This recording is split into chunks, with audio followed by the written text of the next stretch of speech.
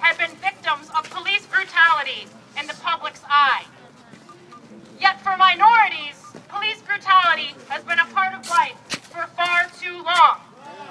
Yeah. And it wasn't until it happened to pretty white girls like myself did the nation start talking about it.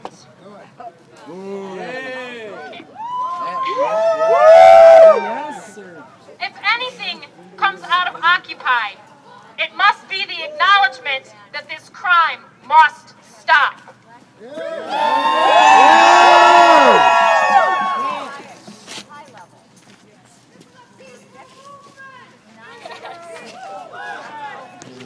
As a white woman, I apologize.